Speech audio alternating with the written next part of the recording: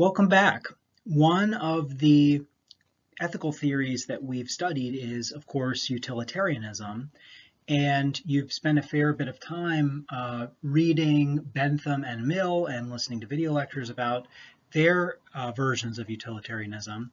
What I would like to do in this uh, set of video lectures is go over some well-known objections to utilitarianism. And just as with the objections to Aristotle, what I'll try to do is uh, say a little bit about what the objections are, of course. I'll say what the criticism is, and then I'll say a little bit about how utilitarians um, can respond to those criticisms. And the, the point, again, uh, is not to convince you of any particular position. It's not to convince you that utilitarianism is wrong for these reasons or that it is ultimately right because it can respond to the objections effectively. The point is to introduce you to a little bit of the critical conversation that has gone on about utilitarianism. Uh, in contemporary ethical theory, there are some philosophers, Peter Singer, for instance, who I um, discuss in another set of video lectures for this week, uh, who who defend utilitarianism and who basically um, you know think that it's that it's correct and it's the right ethical theory. And there are others who disagree with utilitarianism. So these um, this is this is basically an introduction to a debate not a um, teaching you what you should think okay um, and uh, I will, um, I, I, would like you at the same time, though, to try to follow these arguments and have some sense of what are the things that people say for and against utilitarianism. So the first of these objections I'll consider is the objection that pleasure isn't the only good. Remember that the principle of utility, both in Bentham and in Mill's formulation, ultimately just means that we ought to act in such a way as to maximize pleasure and minimize pain for those affected by our actions. And uh, both, um, sorry, uh, both of the examples of the the swine-like objection, which I discussed uh, in the videos on Mill, and the example of the happiness machine, uh, or the pleasure machine, I think I called it. Um, those were both examples that were intended to uh, argue that there's something wrong with this part of utilitarianism. Uh, it seems like it seems like pleasure isn't the only thing that we think is is good. Uh, and so any ethical theory that says that you should just maximize pleasure and minimize pain, it seems to be too simplistic of a theory about what are the things that we want to achieve and the things that we consider to be ethically good. So it's a very broad kind of objection. It's, it's kind of attacking utilitarianism really at, at the root in a way, since their very uh, principle of ethics is founded on this claim that the difference between good and bad is just the difference between um, how much pleasure or pain are generated by actions. Um, but there, there are some possible replies that the utilitarians can make to these objections, um, which I will uh, share with you now. So one possible reply um, comes from Bentham. I haven't listed it on the slide. Bentham's response is basically, look, uh, whatever thing it is that you think is more valuable than pleasure or pain is probably just something that causes you individually pleasure and um, that or that causes you individually pain. And if you really think about it carefully, you have no more right to say that those things are valuable than somebody else does to say that the things that cause them pleasure are valuable. So ultimately, the the um, the standard should still just be pleasure and pain. So it's a kind of a, a, simple style of argument. It's included actually in the six pages from Bentham that we read. He makes an argument of that kind. Um, but the, the, basic idea is just kind of challenging the person to make a case who says that pleasure isn't the only good, to make a case that whatever thing they think of as a good that's not um, good because it generates pleasure, if they if they say if they try to say in more detail what why they're confident that it is not just subjectively good, not just good in their own opinion or in their own experience, but is good objectively, that is, is good for everyone or is should be the thing that we um, try to achieve with our actions, that they won't be able to do it. And that uh, ultimately they'll have to admit that their thing that they're calling a good other than pleasure is just a kind of peculiar personal fancy, a, a, a personal taste issue, rather than something um, that should guide moral action and, and guide us in determining what are the good consequences for everyone.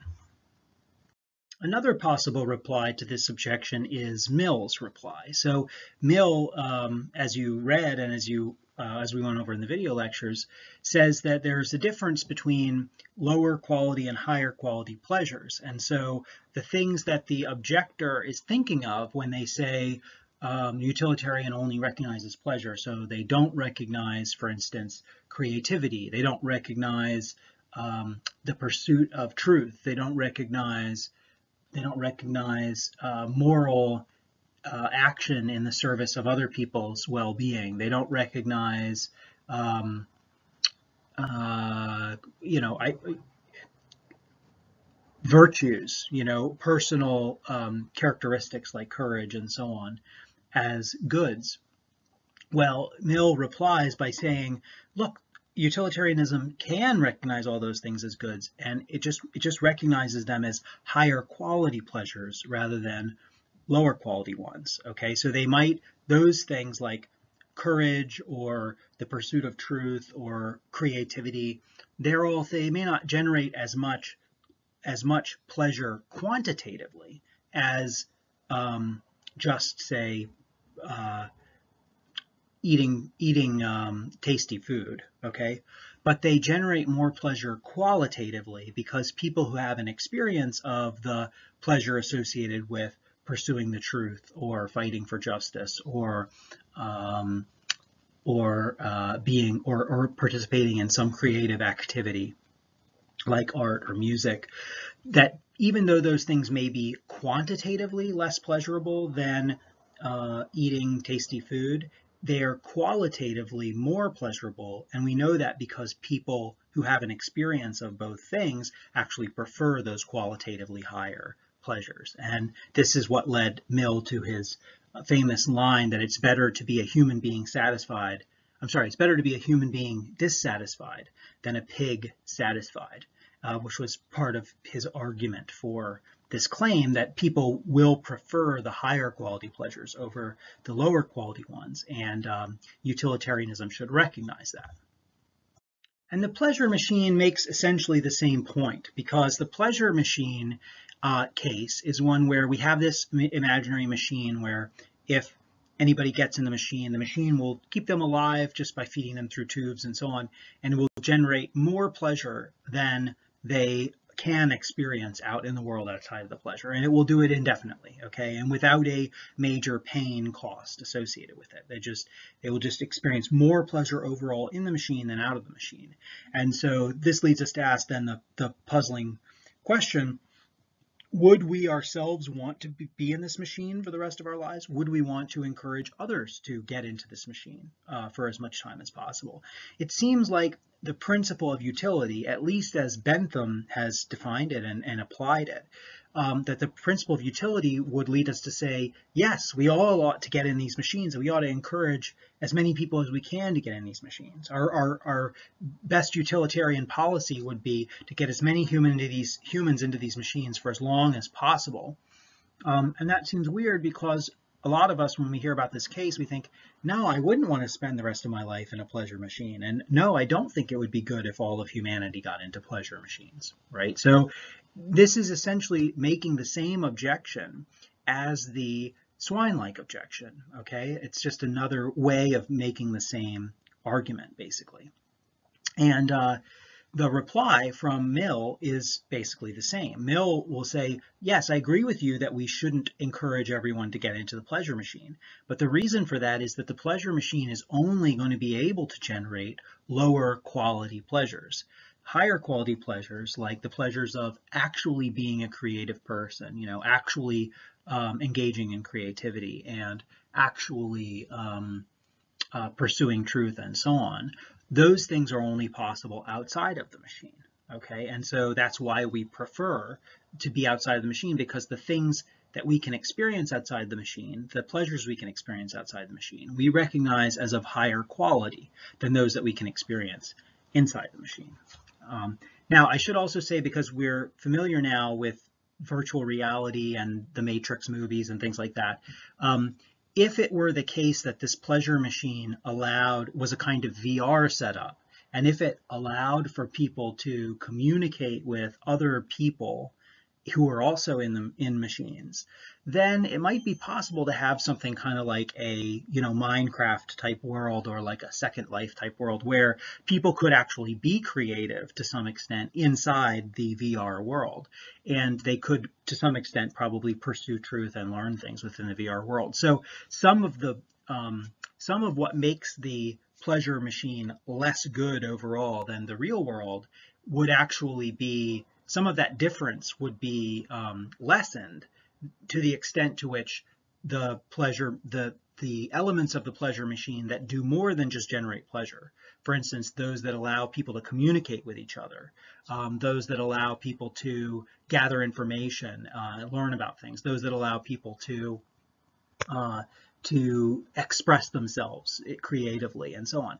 So to the extent to which we add those things to the internal virtual world generated by the pleasure machine, then um, that's the extent to which we lessen the gap and the difference between the um, being in the pleasure machine and being out in the world. And so Mill would have to say that, well, in those cases, there are uh, some higher quality pleasures that are accessible inside the machine probably still never going to be some of the um, higher quality pleasures that are available outside the machine. Like, for instance, actually studying a tree or a forest or an animal, right? A real tree or forest or animal you can't really do inside this virtual world. And if you thought that that was a higher quality activity, higher quality pleasure, then that would lead you to say that um, you should still prefer being outside the machine to being inside it.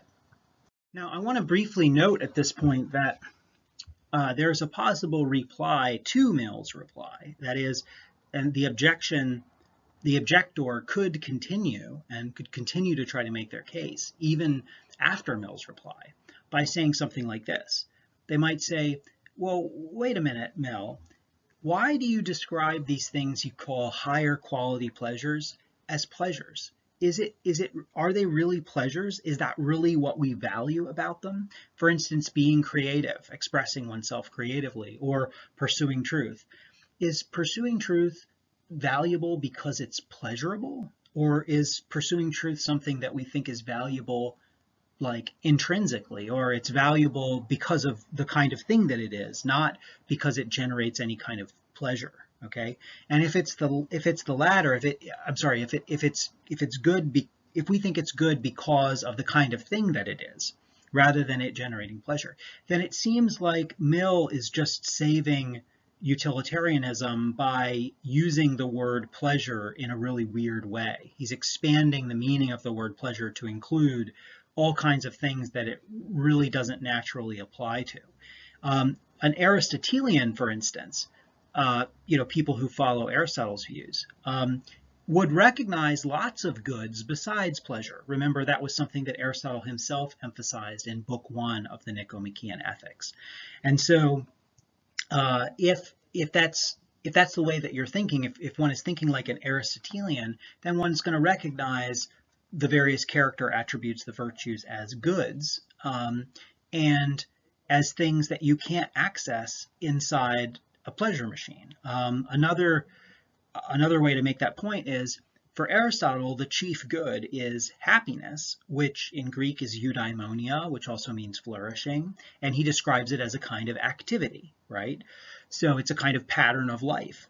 Um, it, it, it doesn't make sense from an Aristotelian perspective to think that somebody could be happy inside a pleasure machine because the pleasure machine, in the pleasure machine, they're not being active. They're just receiving all of this, um, you know, uh, sensory stimulation, but they're not actually doing anything. They're, the pattern of their life is not that of a happy human, and so they can't they can't be happy. Um, and uh, so what you see here is a as a kind of standoff between an Aristotelian picture and a utilitarian picture. And part of what Mill was trying to do actually with this, with even considering this objection and the way that he replied to it, he's trying to integrate or bring on board some Aristotelian elements into utilitarianism because he thinks that um, it is important to recognize in your moral theory that there's something good about things like creative expression and um, community connections with other people and um, uh, pursuit of truth and so on that aren't obviously interpretable as just a matter of seeking pleasure. So his reply about the difference between higher quality and lower quality pleasures is intended to be a way to make a recognition of those other goods which an Aristotelian picture already recognizes. He's trying to make it possible to recognize those that wider range of goods within a utilitarian ethical framework.